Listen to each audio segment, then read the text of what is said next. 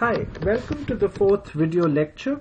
This is the second lecture of the second module named Economic Backwardness, Neoliberalism and Radical Development Critique. This video lecture will deal with the question of neoliberalism and present some radical development critiques.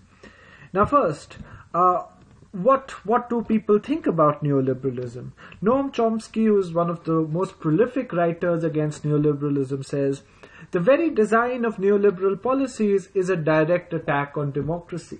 So the first thing you need to know about neoliberalism, according to Chomsky, is how it is non-compatible with democracy. And what does he mean here?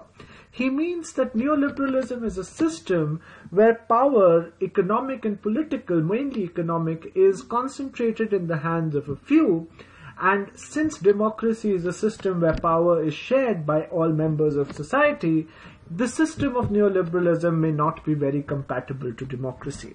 So with this sort of basic introduction, let's talk about what neoliberalism is.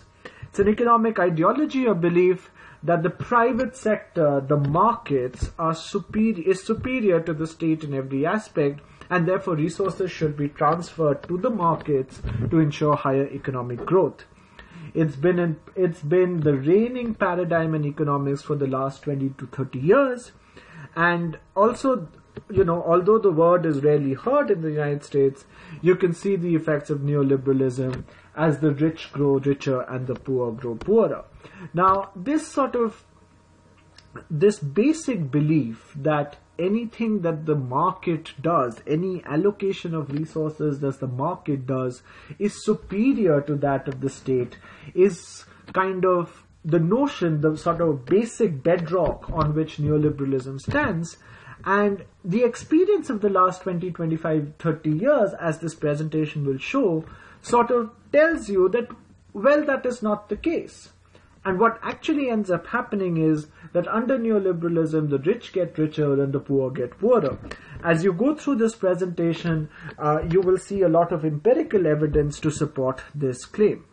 So, like I said, how it's practiced is uh, it leads to uh, it leads to greater liberty given to the markets to operate, a reduction in the regulatory mechanism, greater emphasis on international trade and uh, and and investment, greater in, greater incentives uh, to liberalize flows of finance across countries, financial flows across countries, and to reduce the power of unions, reduce the power of the state, and increase the movement of capital, goods, finance, and services. So, what are the main components? Of course, rule of the markets is something we've talked about. Uh, reducing public sector spending. Now, this is critical. What neoliberalism assumes, as I told you, is that markets are supreme. Markets can do things better than any than the state or any other or any other system. And therefore, anything the state does is inefficient, is corrupt, and is substandard in comparison to how the market would do. And one of their recommendations is to remove the state also from the social sector. Now, what do I mean by the social sector? The social sector is your health sector, your education sector, uh, you know, your basic needs sector, uh, you know, to ensure that everyone has enough to eat, to ensure that nobody, uh, everyone has adequate housing, nobody sleeps on the street. Now, these are some basic requirements of a state. But under neolib- but under neoliberalism, these are uh, these are undermined. And finally, the issue of privatization, uh, which is a direct outcome of the state being inferior to the private allocation. Therefore, uh, you know, one should transfer control from the state to the, the markets. And finally, Milton Friedman, one of the one of the founding uh, champions of neoliberalism, uh, talks about how uh, neoliberalism, uh, you know, is a system to improve people's lives. And, you know, to quote, he says, It never occurred to me at the time that I was helping to develop machinery that would make possible a government that I would come to criticize severely as too large, too intrusive, too destructive of freedom. Yet, that is precisely what I am doing. So he talks about, so Milton Friedman was involved in a policy whereby the state was criticized as being inefficient, as being intrusive, as being too large, and to create space for the markets to take over from the state. And uh, obviously, there is no consensus on whether neoliberalism actually works or not, particularly in sectors like education and health.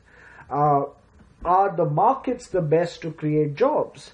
Uh, you know, neoliberalism has led to unprecedented wealth and income inequality. And how do some of these processes interact with the development of countries, uh, economic development of countries, and neoliberalism per se proceeds through accumulation by dispossession, which we discussed in the last uh, PowerPoint, um, and how accumulation by dispossession by itself a meaning, a, a process by which a lot of people uh, are denied access to resources which could have improved their quality of life. But under neoliberalism, those resources are transferred from, say, poor people to, uh, or say, a large group of people to a small minority of people who are then expected to use those resources uh, to create jobs and employment. Whether this process actually happens or not, uh, the data tells you that it doesn't. So this is this is the basic part of neoliberalism. The rest of this lecture is going to is going to focus on the critique of neoliberalism. What does the data say? How has neoliberalism fared in the last uh, three uh, uh, three decades? And what can we learn from the experience of neoliberalism? So I will end this video lecture here, but as always, make sure you carefully study the entire PowerPoint of the main lecture and if you have any questions please let me know. Thank you so much